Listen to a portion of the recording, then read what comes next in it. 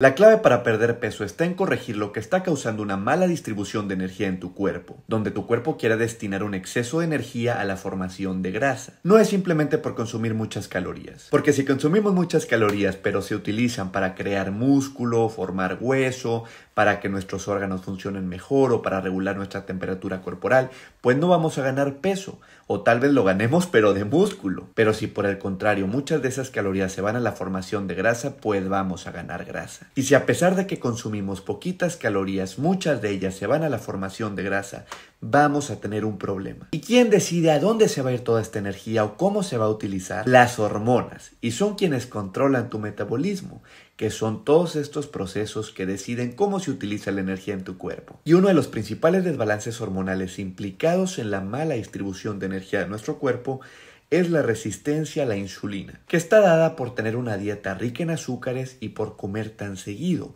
porque eso asegura que constantemente se esté disparando la insulina y que nuestro cuerpo pierda sensibilidad a ella, lo que va a hacer que ahora nuestro cuerpo necesite producir más insulina para hacer la función que debería de hacer con menos. Y la función más conocida de la insulina es la de regular el azúcar o la glucosa en sangre, pero una función un poco menos conocida es la de almacenar energía en forma de grasa, por lo que a mayores niveles de insulina más grasa vamos a acumular. Y si tenemos resistencia a la insulina y estamos liberando un exceso de insulina, pues estamos con un problema. Cuando únicamente reducimos la cantidad de calorías que consumimos sin cambiar la calidad de los alimentos o el patrón alimenticio, únicamente estamos haciendo que nuestro cuerpo reciba menos energía, pero no necesariamente cambiando cómo la distribuye. Y para corregir esta resistencia a la insulina y para corregir cómo nuestro cuerpo distribuye la energía, necesitamos sensibilizar nuestro cuerpo a la insulina. La práctica que más te va a ayudar a corregir la resistencia a la insulina es el ayuno intermitente, que consiste en alternar periodos de ingesta donde tienes tus comidas con periodos de ayuno.